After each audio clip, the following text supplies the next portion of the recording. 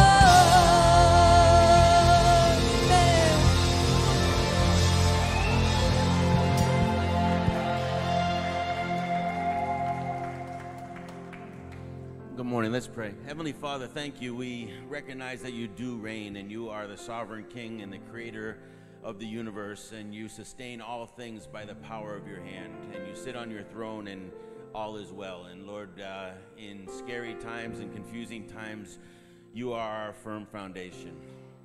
The firm foundation is proven uh, to us. Uh, your faithfulness and your love to us is proven by Jesus Christ that he would come and sacrifice himself for us, that we would have newness of life. By the power of the Holy Spirit, we might know you. And Lord, we just give you all the honor and all the glory. And, and Lord, we recognize you to be uh, our Heavenly Father, and, and uh, we need you and we thank you. And Lord, we just ask your blessing upon our families today, every ma- marriage, uh, every every husband, every wife, every child here that is represented, Lord, that you would bless them and, and keep them, make your face shine upon them. And for those among us who are suffering, uh, either mentally or physically or emotionally, Lord, that you would uh, make your presence very known uh, this morning, uh, that you would speak to their hearts, and uh, we would be uplifted knowing that you are our God and we are yours. And Lord, we just ask this all in the precious name of Jesus. Amen. Good morning, everyone. Why don't you get around, say hello to someone you don't know, and have a time of fellowship?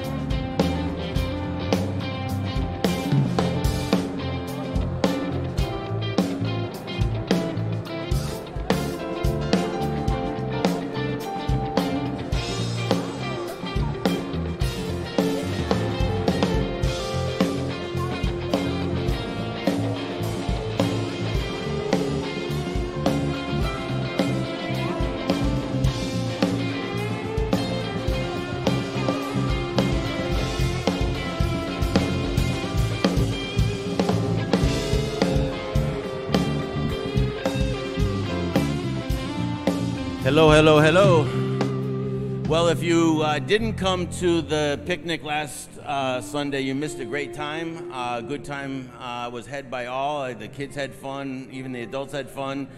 Only one broken window. Um, uh, but it, was, it, was, it was a good time. And it's, it's just practice um, being in community and, and being in family. So it was a, a great time. Uh, check everything out online. Uh, there will be no men's group um, this week. I'll be out of town. And then uh, come to HIT on Saturday mornings, uh, 8 to 10. We had 15 people there yesterday. Uh, and uh, get involved. Um, if you'd like to volunteer, please see me or one of the deacons. And uh, don't forget, Spanish Bible study is uh, going on uh, 9:30 here on Sundays. Spanish Bible study. Now, I do have a slide up there um, about our mission trip. Uh, we sent Carlos Dueñas and uh, Jaime and Astrid Rodriguez to Guatemala um, to visit Mauro and uh, his church, and uh, they had a wonderful time. We're still trying to work out a lot of details, but we would like to go uh, help uh, the Prince of Peace Church. I'm not even going to try Chicacao. That's the ow, right? Is that right, Mauro? Chicacao. All right. But anyways, um, it's it's up in the mountains. You can see uh, three uh, volcanoes, Um, and uh, what we're trying to do is we, we have a lot of uh, things to work out transportation, housing, and all that kind of stuff. So if you're interested um, and would be interested in going on a mission trip either this summer or the fall, um, maybe uh, November time, um, because there's rainy seasons and everything like that, so we've got to work around that as well. Please talk to Jaime. He'll be in the back with a sign up list and just to keep us uh, moving forward in that. Okay? Um, I'll call down the uh, ushers and we'll take our morning offering.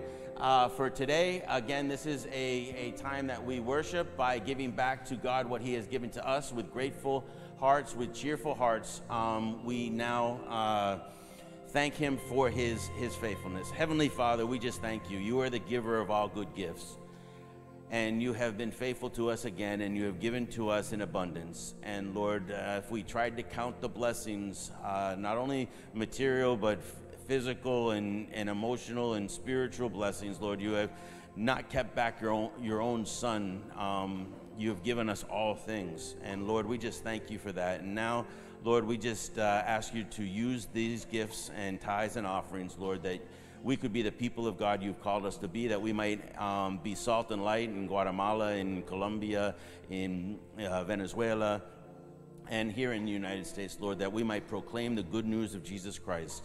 And Lord, we ask this all in the name of Jesus. Amen. So, as they're uh, taking the, our morning offering, I'm going to ask uh, Lisa and, and Matt to come up.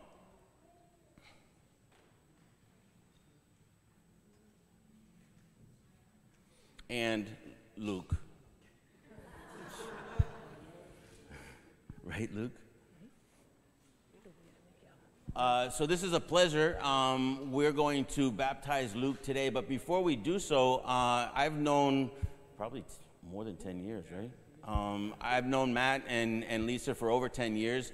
Um, they've been with us now a couple of years, and uh, they just had a baby, four months? Four months? Um, and, uh, and it's time to baptize them. But before we're going to baptize them, they're going to become members of the church. And this is really important because um, when we when we talk about covenant and when, when we talk about family, and um, one of the reasons why they're bringing Luke here uh, before you today is that this is where their local church is, and this is where they practice their gifts, and this is where they belong, and, and we take part in their lives as they take part in in ours. And so I have uh, five questions for them um, to become members. And so, do you acknowledge yourselves to be sinners in the light of God, justly deserving his displeasure and without hope, uh, save his sovereign mercy? Yes. Do you believe in the Lord Jesus Christ as the Son of God, Savior of sinners? Do you receive and rest upon him alone for salvation as he's offered in the gospel? Yes. Do you now resolve and promise in humble reliance upon the grace of the Holy Spirit that you will endeavor to live as becomes the followers of Christ? Do you promise to support the church in its work and uh, worship to the best of your ability? Yes. Do you submit yourselves to the government and discipline of the church and promise to study its purity and peace? Yes. Okay. Now, now they're members. Let's give them a round of applause.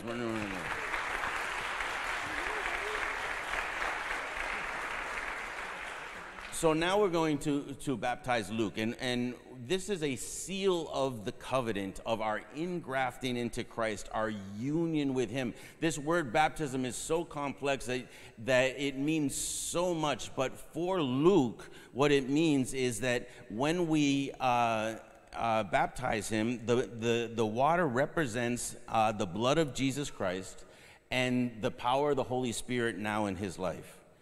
Uh, the promise is made to believers and their children. Uh, there is uh, an understanding that because uh, Matthew and Lisa are believers, that this is a child of the covenant, and the promises are made to them and their generations.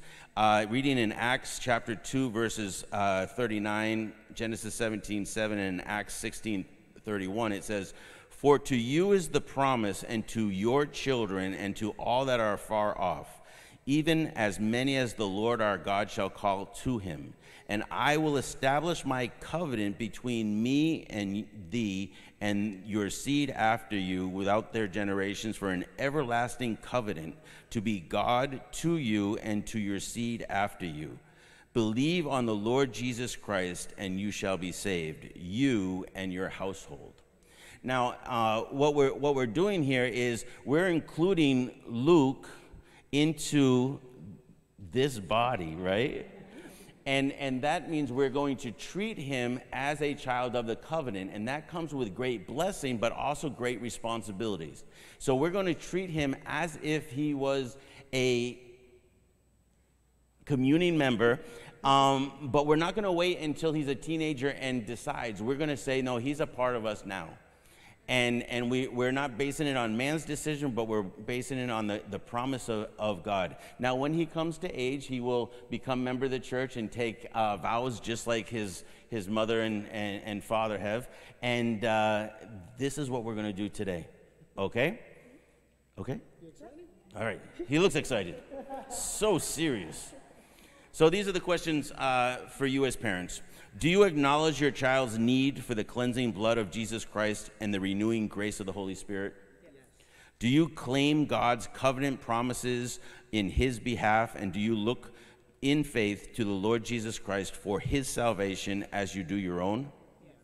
Do you now unreservedly dedicate your child to God and promise in humble reliance upon divine grace that you will endeavor to set before him a godly example, that you will pray with and for him, that you will teach him the doctrines of our holy religion, and that you will strive by all the means of God's appointment to bring him up in the nurture and admonition of the Lord?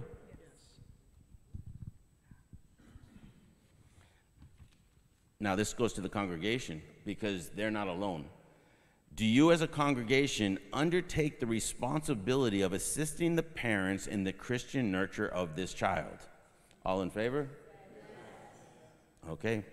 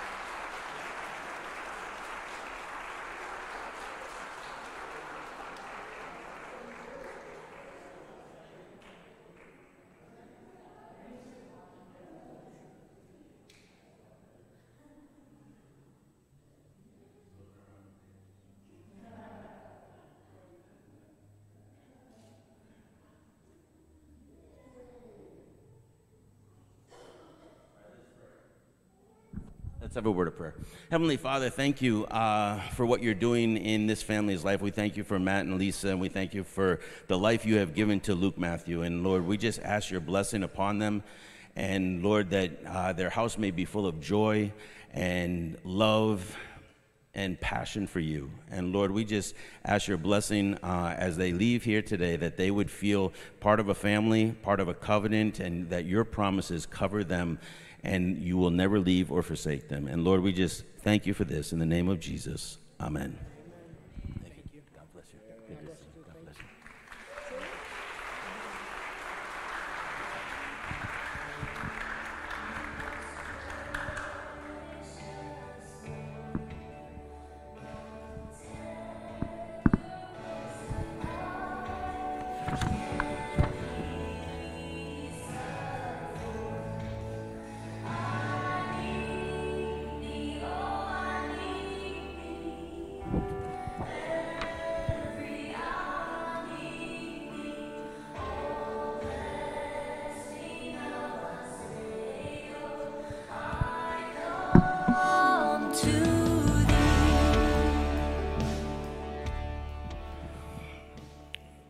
Again, good morning. We're going to continue our, our sermon series in Luke. We're in Luke chapter 6.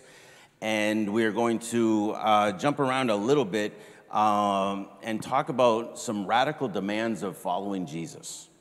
So let's have a word of prayer. We'll get started. Heavenly Father, we just ask your blessing upon this time, Lord, that you would speak to us through your Holy Spirit, that you would convict us and move in us, um, that we would uh, see who you truly are and what you have called us to do and be and uh, live that. And Lord, we just ask this all in the, in the precious name of Jesus. Amen. So uh, last week we, we talked about the Sabbath. Um, this week, uh, Jesus goes up onto the top of a mountain and he prays to God, and then he chooses his 12 disciples. And as he's coming down the, the, the mount, there's a level area. It's still kind of Sermon on the Mount, but it's a level area on the mount. And he uh, starts to talk to them of what it looks like to follow Jesus. Now, I, I saw a, a documentary. Um, it said "Beware of Christians." That was the, the documentary name. Um, but it was "Beware of Superficial Christians" was the the kind of gist of it. And and the the the question is, do we have a superficial Christianity? There, there's a lot of followers who have never really followed Jesus. Uh, in men's group, we were, were going through uh, Revelations and we were looking at the letter to the Ephesians. And the letter to the Ephesians showed that uh, they were very faithful to doctrine and they were very faithful to the truth and they were very faithful to, to everything that church life was supposed to be. But, he, but Jesus says against this church, but this is what I have against you. You've forgotten your first love. They've abandoned their love. Now, I do a lot of weddings. Um, you ever gone to a wedding and they go to 1 Corinthians 13 to talk about love? Always out of context, by the way. Um, that's not what it's talking about. But uh, it's a great portion. So if you would go to the 1 Corinthians 13, we're only going to read the first three verses. But I, I, I, want to define us. There was a, a, so, a, song that came out in the 1960s, kind of a hippie movement, um, but it was, they will know we are Christians by our love. They will know we are Christians by our love. It didn't say by our rightness or our, our study, our studios intellect. It didn't tell us uh, how long we stand up and praise. It says that we will know you by your love. And I think it's biblical because if you read 13, 1 through 3, it says, If I speak in tongues of men and of angels, but have not love, I'm a noisy gong or a clanging cymbal. And if I have prophetic powers and understand all the mysteries and all knowledge, and if I have all faith so as to move mountains, but I have not love, I am nothing. If I give away all that I have, and if I deliver up my body to be burned, but have not love, I gain nothing. So it seems to me that love is pretty important, right? Because remember, there's going to be a time that people go before the Lord, and this is in Matthew 7, and it says, Lord, Lord, didn't we do all these wonderful things in, in, in your name? And he says, Apart from me, because I never knew you, I never loved you, I never knew you. We, we know we are Christians by our love. Matthew 24 verses 11 and 12. Here, Jesus is talking about the end times. And uh, he says, in the end times, there's going to be so much confusion, and there's rumors of war and, and, and, and earthquakes and all this other kind of stuff going on. And then he says in verse 24, uh, 11 and 12, it says, And many false prophets will arise and lead many astray. And because lawlessness will be increased, the love of many will grow cold. The love of many will grow cold. So the, the real question is how's your love? You know, and, and this is, I didn't say how many times you're going to church. I didn't say how much are you reading the Bible. I didn't, because none of that matters unless it is dipped, dunked, moved around and squashed around and covered in what? Love. Now, I think this love that he's talking about, it's an agape love, of course. It requires a complete overhaul of one's life. You can't just like sprinkle a little bit of love into your life, right? Um, and, and I think this is when I, I, if you look at some Christians in the developing world, you don't say third world anymore, but in the developing world, they would look at our Christianity and laugh at it. Because in some developing countries, it has a cost to be a Christian. There's persecution. There's more Christians being persecuted today than, than any other time, right? And, and so we, we need to look at this, and, and, and this love is different than regular church life. And I love that you came today. I love that you ate a croqueta, and I love that you, you participated in all this. But that is much different than being a follower of Jesus Christ. We really have to have a life that emulates, that imitates God's dealing with the word, world. Now, this word agape love is really doing good, sacrificially, but doing good. And we're going to see that it's a command to love one another and to love enemies. It's a command.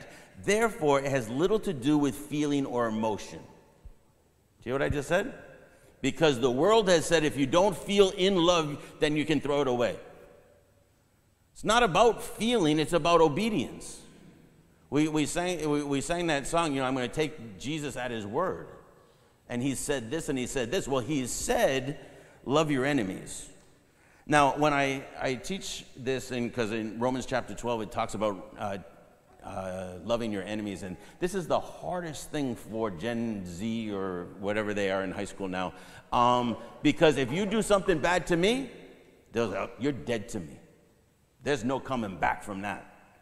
There's little forgiveness, little mercy, and little love. But that worries me because we're raising a, a generation that has to submit to this if we would consider to be followers of Jesus Christ. Now, I, I, chose, this is not a new uh, thing to love uh, one another and to love enemies. If you look at Exodus 24, 23, I'm sorry, 23, chapter 4, there's another command here. 23. 4. It says, If you meet your enemy's ox or his donkey going astray, you shall bring it back to him. It's a commandment. If you meet someone and their enemy lost something, then you should help your enemy. Look at Proverbs 25. Proverbs chapter 25.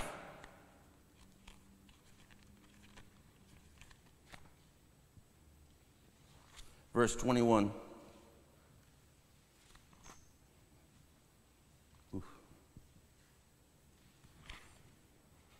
If your enemy is hungry, give him bread to eat, and if he is thirsty, give him water to drink.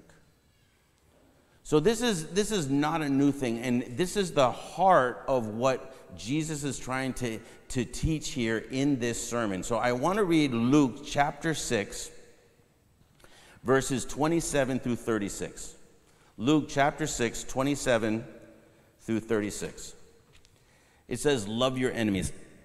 Now, it's going to describe that, you know, if you love those who love you, there's, there's nothing really great in that because that's what the sinners do. We shouldn't say, oh, Jesus, you should congratulate me because I act like every other sinner. No, he, he raises the bar in how we're supposed to love. Look what it says in verse 27. But I say to you who hear, love your enemies, do good to those who hate you Bless those who curse you, pray for those who abuse you. To the one who strikes you on the cheek, offer the other also. And from the one who takes away your cloak, do not withhold your tunic either. Give to everyone who begs from you, and from the one who takes away your goods, do not demand them back. And as you wish that, uh, and as you wish that others would do to you, do to them. If you love those who love you, what benefit is that to you? For even sinners love those who love them. And if you do good to those who do good to you, what benefit is that to you? For even sinners do the same. And if you lend to those whom you expect to receive, what credit is that to you? Even sinners lend to sinners to get back the same amount. But love your enemies and do good, and lend expecting nothing in return, and your reward will be great, and you will be sons of the Most High, for he is kind to the ungrateful and the evil. Be merciful, even as your Father is merciful. Wow. All right? That's a lot. The command to love our enemies is actively seeking to do them good, to pray for them. Generosity, when, when they, it turns in an evil thing that they do, you give them more and it turns into charity. You give them grace, you give them mercy. And this is for all our enemies. And sometimes our enemies are personal, just really difficult people to love in your, in your family. Right? I don't know if you have difficult people to love in your family. And if you don't know, you're probably that difficult one. Um, yeah. Um, it, it might be religious, it might be political, but, but today, more than ever, we're so divided and so angry, and social media just feeds it.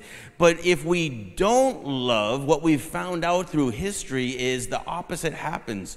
Love, I mean, if we don't love, chaos, it, happens and, and hate and treating your enemy poorly just perpetuates hostility. There's a spiral of violence and it's always escalating. Now, this was really important because the, the Jewish people in the Old Testament really lost their way. They were supposed to be blessings to all nations. They were supposed to be the people of God representing God to all nations. Look what it says in Esther. Now, Esther is a, a book in the it's like a narrative book in the Old Testament. But if we look at Esther uh, chapter 9, verse 5,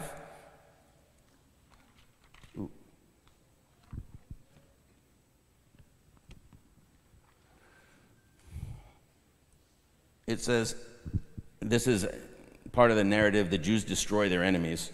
The Jews struck all their enemies with the sword, killing and destroying them and did as they pleased to those who hated them. Oof. Doesn't sound good, right?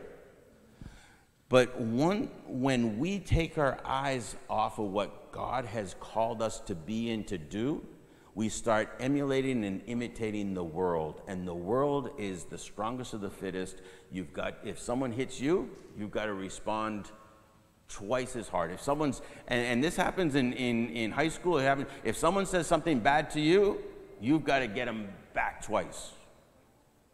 And it's always escalating. And we're copying the ways of the world. And then the question is, um, what drives this? And it's self interest, my self protection. Because if you read what Jesus said, um, you think he's being sarcastic. I mean, that, that's kind of crazy, right? I mean, enemies only respect strength, and you, you maybe he's kidding. Maybe he doesn't, maybe, maybe he's just joking. Um, maybe didn't mean it. That's not what we're supposed to do, Matt. Come on, that's too radical. You want me to be abused? You, you want me to turn the other cheek? You want me to forgive? You want me to love my enemy? You want me to be slandered? Oh, that's too impossible. That's too foolish.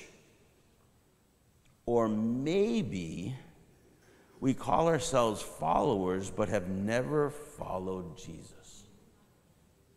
That's a tough one. See, everything, if we're, we're all against our self interest, and, and it's all about power. There's a, a quote from a, a philosopher, Greek philosopher. He said, Even those who do not want to kill anyone, they want to have the power to do so. And we can rationalize this. Well, this is how the world works now, and you've got to work, work within the world. But we're no longer of this world. We're, we're completely radicalized. It's, it, it, nothing is too impossible for God. And to the world, it will consider be foolish, but the gospel is the power of God for those who believe. verse 16, uh, getting back to our, our, our, our text, chapter, Luke chapter 6, uh, verse 17, he states, it's really interesting. Um, he states, um, and he came down with them and stood on a level place with his great crowd of his disciples and a great multitude of people from Judea and Jerusalem and the seacoast of Tyre and Sidon. Why is that important? Well, Josephus, the historian of the Jews, say that the people from Tyre and Sidon were the ungodliest people that they were, and we were bitterest enemies with them. So they're present, and he's telling his new disciples, look, Sidon, your enemies are here. The ones you have bitterness to are here, and I'm calling you to a higher love. And they were also being persecuted by Rome, um, and it sets the tone with how we're supposed to live in this crazy, sin-filled world, sin-filled world. So, how does one respond to abuse, hatred, betrayal, infidelity, maltreatment, being lied uh, to and about, being assaulted, insulted, or cheated? Throw two stones? Do we get them back? Hatfields and McCoys? The 20, 21st century is a culture of violence. You've got to attack and defend yourself because you can't be a what? A victim. Well, I think this is, I, I, don't think we need to attack and defend, and I don't think we need to be victims. Listen to me here. Followers of Jesus Christ are never victims. Do you hear that? Followers of Jesus Christ are never victims, but we are aggressive in our loving response. We're aggressive with our love. What does that mean? Well, it means that our goal is not to keep our enemy our enemy. Our goal is for restoration, reconciliation, peace, and this outward shalom. Now, it's risky, right? Sacrificial love comes with risk, ask Jesus. Right? Because there's a verse that says, even when we were enemies, Christ, what? Died for us. And he didn't, he, he when, when we did everything and, and, and he was lied about and he was cheated on and he was uh, hated and abused and maltreated and, and, and, and slandered and everything like that, how did God love? He didn't respond back. He remained silent. He actually said, Forgive them, Father, for they don't know what they're even doing. See, through the gospel, we learn that God does not want us to maintain ourselves to be enemies or alienated from God, but He wants to make a transformational change. Now, this is, this is really important Remember the, the story about the, the lady who uh, came in and started crying at Jesus' feet and, and washed his, his feet with her hair and her tears?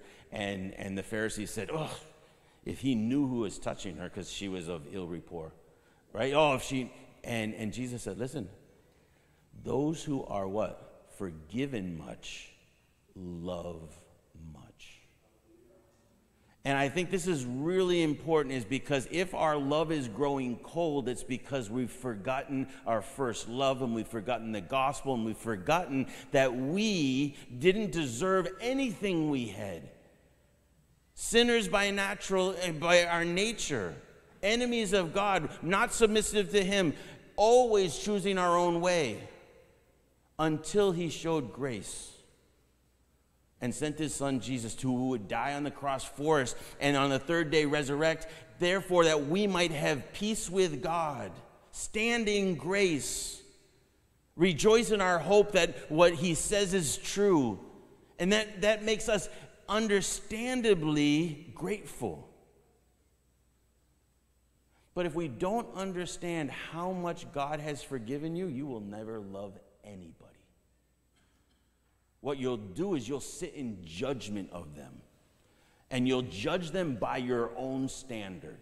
And you'll say, hmm, I'm better, or they should be like me, or this is that, that's a weakness, that's a this. Listen, until you realize that you don't deserve it, and everything is grace, can you love another?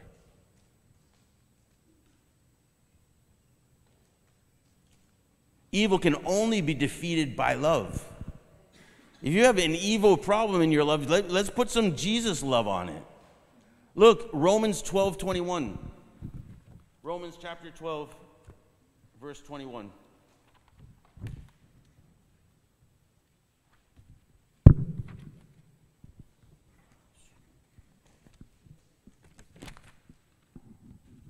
says, Do not be overcome by evil, but overcome evil with good. You ever heard that saying, two wrongs don't make a right? Usually in our fights, someone will do something wrong, and then someone will do another thing wrong. And then another person will do another wrong, and we just keep on going back and forth and doing something wrong. And, and it, it doesn't work that way. Do not be overcome by evil, but overcome evil with good. We're more than overcomers in the love of Jesus Christ. We do not have to fight like the world fights. We can. Because the battle's been won for us. We've received so much. So, so the application, the practical side of this, and, and, Jesus gives it, it's not mine. It says, a person should respond not on the basis of how one is treated, but on the basis of how one wants to be treated. You want respect? Then do what? Respect. You want to be loved? Then love. If you don't want to be lied to, don't lie. If you want an honest relationship, be honest and treat others with honesty. And listen, I'm not naive enough to think that, oh, this is pie in the sky, everything's going to happen. Maybe nothing happens. Maybe you forgive and you love someone and they still miserable old bags and they hate life. Maybe that's it. Maybe nothing happens, but I'm going to tell you that hate is a poison that only you consume. And this is about us following Jesus Christ. It comes with risks, but to love actually frees us. So, three things. First of all, um, I don't want a business tit for tat type of thing. You do this and I'll do this. It's like a business transaction. That's what the, that's what the uh, sinners do, right? Um, not to love so you'll be treated well. I'll do this for him, but he's got to do this for me. I'll do this for the church, but they've got to do it for me. That's not how Jesus works. Jesus says, No, I'm going to do this to make enemies reconciled. I'm going to sacrifice myself so my enemies don't stay my enemies. That's what Christians do. We have to act in the light of our future hope and our relationships. Listen, now that we have peace with God and we have the union with the Son through the power of the Holy Spirit, it's not necessarily me imitating God, it is God imitating Himself through me. It's not me trying, oh, Lord, give me your love. No, Lord, work your love for this person out through me. Completely different. Love this person through me. Pour out your grace on this person through me. Because if left by yourself, can you love these people? No. Now, the ultimate basis for our behavior is God's way. He says, "Be merciful as if as God is what? Merciful." Listen, at the end times it says there our love is growing cold. This is where I think we're really lacking. We don't show mercy for anybody. Make a mistake, you're dead. Do this, you're dead. We don't forgive. And and and I, I do a lot of marriage counseling, and the most most marriages do well with big things. They do horrible with little things. And they never resolve anything. And so you have the death of a thousand cuts, right? And the death of a thousand cut is that it's cut and cut and cut and cut and cut and little offenses that never get forgiven or little offenses that never get loved or, or, or nothing happens. There's no repentance. And by the end, five, six, seven years, they say, I'm empty. I'm blood out. I'm bled out. I got nothing left. Why?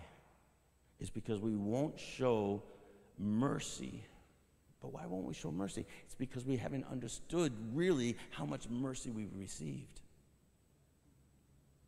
We don't forgive because we don't realize how much forgiveness we've received.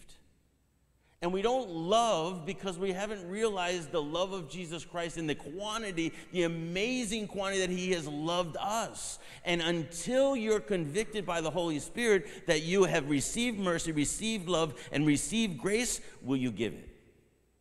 Then we can say this is the way of God's people follow. Like I said, the story says they will know we are Christians by our love. Jesus said in John 13, said, By this everyone will know that you are my disciples if you love one another. And I just want to close going back to Revelation chapter 2, verse uh, 1 through 7, when Ephesians, uh, they're talking to the, the church in Ephesus, and he says, This is what I have against you. You've been super faithful, you're super right, you're super good, but you've lost your love. And then he says, It's time to repent. And if anything's touched you today about loving neighbor, and you might have someone that's come into the mind by the power of the Holy Spirit that you need to forgive, that you need to love, that's very difficult to love. It might be your pastor, I don't know. Um, but, but if there is, and you haven't loved as Christ has loved, it's time to repent. If you have not shown mercy to people as you've received mercy, it's time to repent. If you have not shown grace to people as you have seen grace, when God gave you everything, when you deserved nothing, it's time to repent. So let's do one more thing. Let's go to 1 Corinthians chapter 13 again. Marriage time. This is even worse, right? This is the next part that everyone loves. Chapter 13.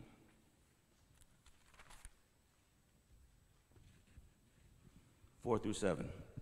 And you've all heard it before, but I want to change it a little bit. And when we read it, um, put that person in there. It says, Love is patient and kind. Put, My love, is my love patient and kind for this person? Does my love not envy and boast for this person? Is my love not arrogant for this person or rude? Does it not insist in its own ways? It is not irritable or resentful. It does not rejoice in wrongdoings, but rejoices with truth. Love bears all things, believes all things, hopes all things, endures all things. And this is the crazy part about it. If we use this for our love, I'm going to tell you right now, your love is not enough. The only one who has loved like this is Jesus Christ. Now we have access to that love through the, through the Holy Spirit. Now the prayer is, Lord, you do this. Your love work through me because I'm so grateful. You've shown me so much mercy. You've shown me so much grace. You've shown me so much love. Let me love other people. Amen? Let's pray. Heavenly Father, thank you so much. God, you have told us in your, your scriptures that you are love. And there is no love outside of you, Lord, that we would see you as our loving Father, that you have proven your love for us by sending your Son on the cross, and, and you have sent the counselor and the comforter um, so we'd never be alone because you love us, even today. Lord, we repent because we might be superficial in our following of you. That we follow you on Sundays, but we don't forgive, and we don't show mercy, and we don't love the difficult ones, and we sit in judgment, and we imitate the world and not live in your kingdom. We repent, Lord. But Lord, we don't stay in repentance because you have forgiven us. And Lord, now we strive by the power of the Holy Spirit that your love would invade our homes, that they, your love would invade our relationships and invade the difficult relationships that we have, whether it be personal, laboral, political, religious. Lord, there's so much division. We can't change the world, Lord, but then when it comes to us, Lord, that they would know that we are Christians by our love. Amen.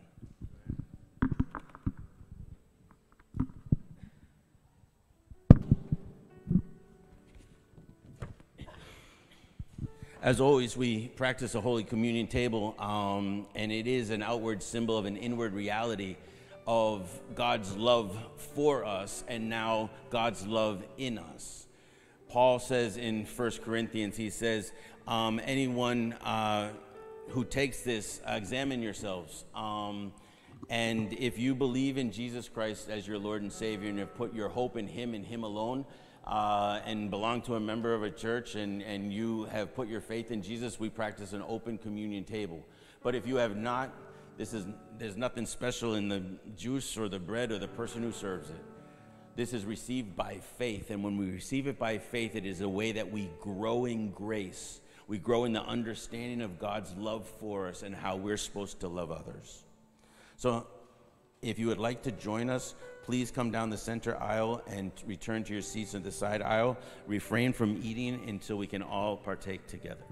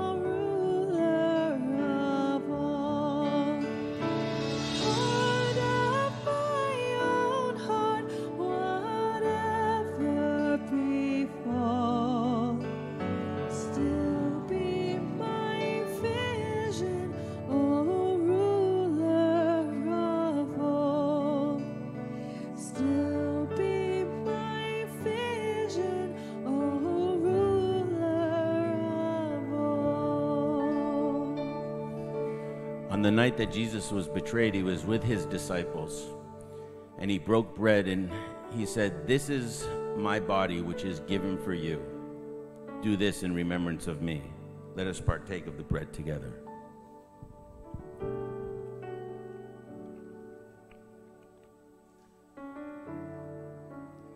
That same night, as the dinner was closing, he was with his disciples and he took the cup and he said, This is the cup of the covenant for forgiveness of sin. Take this in remembrance of him. Now receive the benediction. In the name of God the Father, God the Son, and God the Holy Spirit, make us lovers of souls. Amen.